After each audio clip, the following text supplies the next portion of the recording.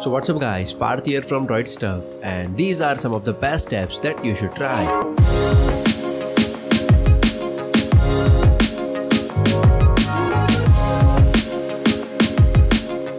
First app is Lookup. It's a pop-up dictionary app. So if you are reading an article and want to find some meanings, then instead of copying and pasting a word into a dictionary, just select the word and hit the three dot menu option and then select the lookup. So it will instantly give you a meaning and some of the info about that word. Along with that, there is audible pronunciation, translate and favorite option. So this app will come in handy for those who read a lot in their Android device or if you are an ex-iOS user who is missing a nifty lookup feature. Next app is the temp mail. So if you are tired of with the spammers and those creepy advertisement mails, then surely check out the temp mail. It's very simple app. It will generate a temporary email address.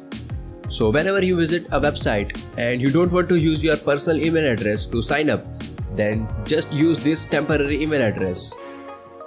So app interface is very simple. You can change a temporary mail address and whenever you got the mail, it will notify and it will open up your mail in the web interface. It's a great way to keep your personal mailbox clean and secured. Next app is the AppSales.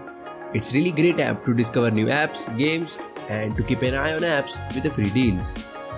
So nowadays, if you have noticed that there are many apps available free on the Play Store for the limited time. So with this app, you will notify whenever there is a new sale on the apps. Believe me guys, it's really great app. I have downloaded many paid icon packs and games with this app.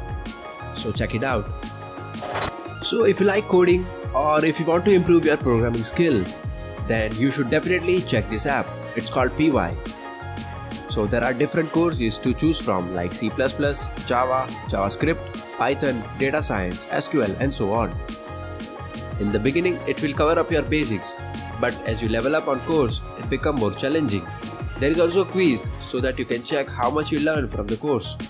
You can save your progress and set the daily goals. Or if you have any queries, then you can directly contact to a PY mentors. So it's a great app for the beginners or if you want to refresh your past knowledge. So next is the game called Loner. It's one of the best minimalist game I've ever played. It's really simple. Basic game mode is like endless runner and you have to avoid the obstacles. There is no upgrade and not even scoreboard. But I like this game because of its simplicity and amazing soundtrack. You will really enjoy the quiet background music with the headphones. So it's very peaceful relaxed game where you don't have to compete with someone. Just play and enjoy the music. So check it out. So next is the Spirly. It's really cool looking live wallpaper.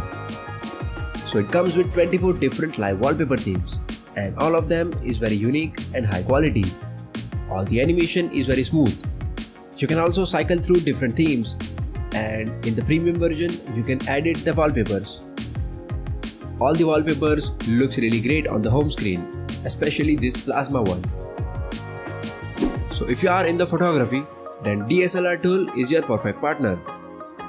DSLR tool will help you to find the golden hour for your current location so you always get a perfect natural lighting to capture some great photos.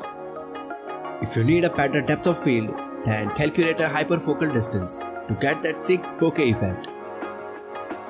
And with the help of this app, you can calculate the correct shutter speed to take perfect long exposure image.